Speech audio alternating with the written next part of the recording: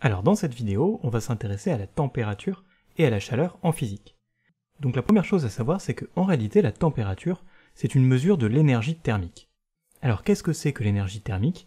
Eh bien c'est de l'énergie cinétique, c'est-à-dire de l'énergie due au mouvement, d'agitation microscopique, donc vraiment dans le monde de l'infiniment petit, où on parle de molécules, comme par exemple ce que l'on voit ici et ici, donc en haut avec une vue euh, schématique, avec une vue euh, simplifiée, et puis en bas vraiment avec une photo microscopique de molécules.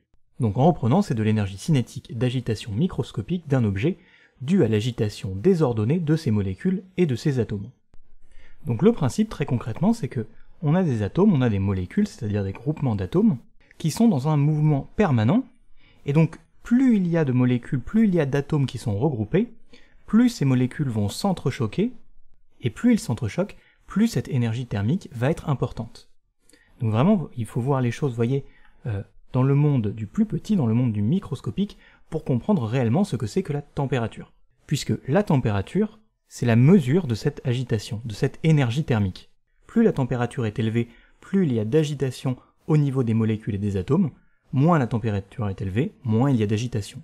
Et ça, on peut en avoir vraiment de nombreux exemples dans la vie courante, mais à mon sens, un exemple qui est assez parlant, c'est par exemple lorsque l'on considère la cuisine.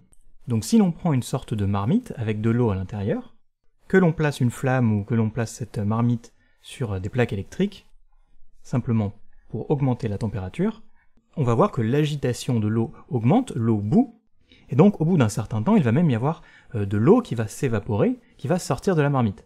Et ça, c'est dû au fait qu'en augmentant la température, eh bien on augmente l'agitation de ces molécules à l'intérieur de la marmite, les particules vont de plus en plus s'entrechoquer, et au bout d'un moment, l'espace qui leur est donné dans la marmite ne va plus être suffisant, puisqu'elles s'entrechoquent trop, elles ont en quelque sorte envie de s'échapper, d'avoir plus de place, et donc elles vont s'évaporer, s'échapper de la marmite.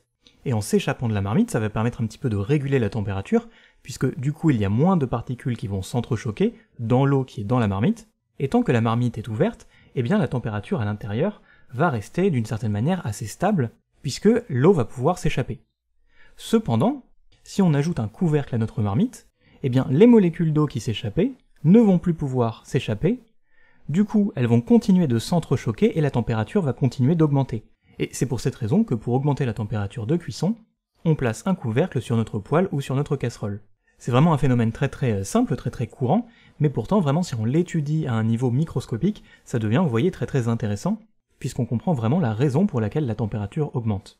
Donc ça c'était principalement pour la température, maintenant on va étudier rapidement ce que c'est que la chaleur, la chaleur qui est différente de la température, puisque la chaleur c'est un transfert thermique, c'est-à-dire c'est un échange entre deux systèmes qui est causé par une différence de température.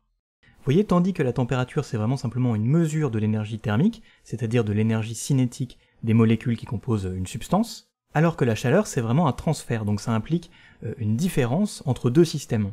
Et donc la chaleur, elle se mesure en joules, c'est une mesure d'énergie. Alors que la température, on la mesure d'ailleurs avec des unités comme le Kelvin, que l'on verra par la suite, le degré Celsius ou le degré Fahrenheit. Et on en a terminé avec cette vidéo. Donc j'espère que ça aura pu vous intéresser. Si c'est le cas, n'hésitez pas à laisser un like et à vous abonner, et puis on se voit dans une prochaine vidéo.